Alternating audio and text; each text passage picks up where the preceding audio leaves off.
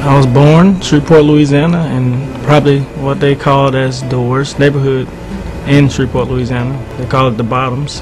I think that from the outset, I was numbered as statistic that I wouldn't make it. Six of us graduated from high school. Three of us made it to college. Only two of us graduated from college. Several are in jail. Uh, two were murdered. So from joining gangs, selling drugs, uh, just walking down the street. You, you could die. Just because you're in the wrong neighborhood or someone from another neighborhood comes through, just take your life.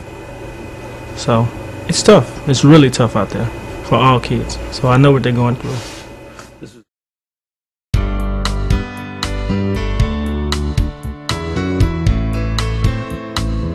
The children that we serve face more in a morning getting ready for school than most of us face in a lifetime. They live in abject poverty, come from some of the worst neighborhoods, and are really incredible kids. The good news about children that come to the Lighthouse is that they're at a huge advantage over children that don't participate in an after school program.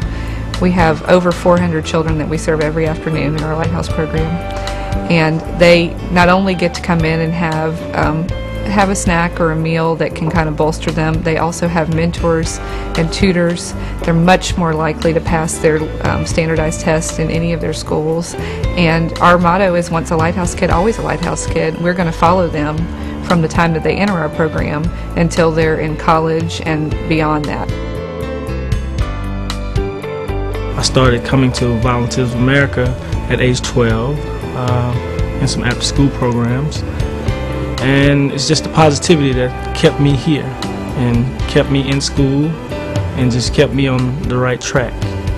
Michael is absolutely an inspiration to every child that we serve and it's wonderful for him to come back here and see the kids because they know I can go to college I can even get an advanced degree.